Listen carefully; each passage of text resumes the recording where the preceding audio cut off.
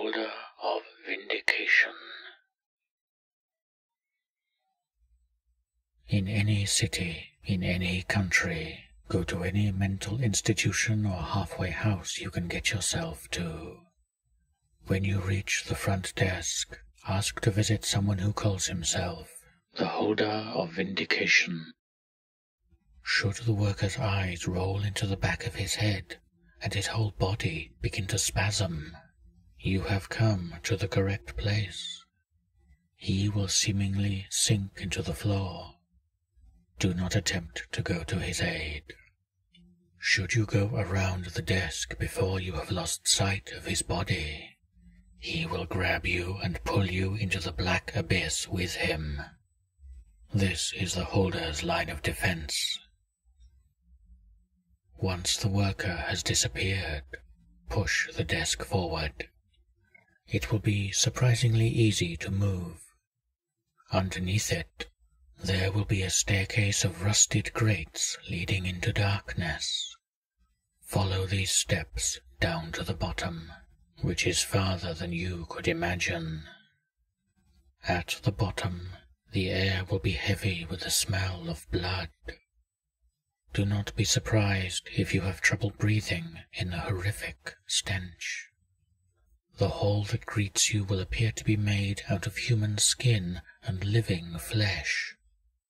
As you move down the hallway, the walls around you seem to be almost pulsing or breathing.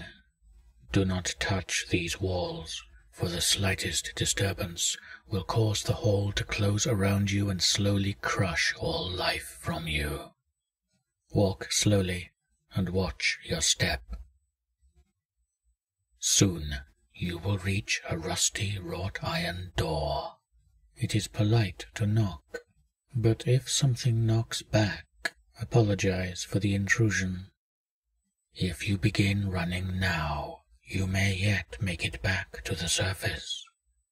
If nothing happens, you may enter you will find yourself in a brightly lit room. Spread throughout will be stuffed animals and other children's toys.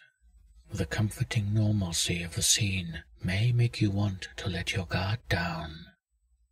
Do not. Things are not as pleasant as they seem. Don't look too closely at the items scattered about. Each one is a toy you had or wanted as a child. Each one has subtle grotesqueries that have driven men mad.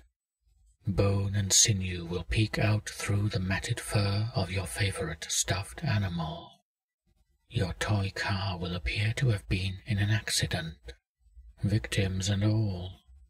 No, it is best if you give them no more than a passing glance, for the holder is coming.